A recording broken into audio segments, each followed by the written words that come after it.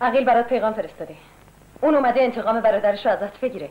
همینطور انتقام روزایی که فکر می‌کرد تو خیلی جوون مردی. تو هیچ وقت معنی جوون مردی و گذشت و نفهمیدی.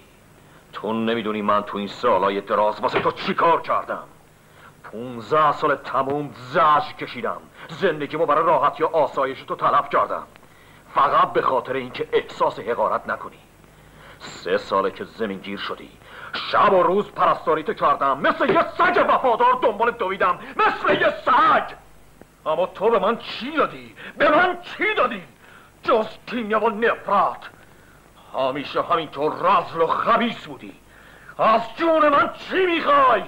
شیطون تو جسم و روح توه. شیطون تو جسم توه که اون بیگناه لو دادی. من اونو لو ندادم. از خودت جلوی من دفاع نکن.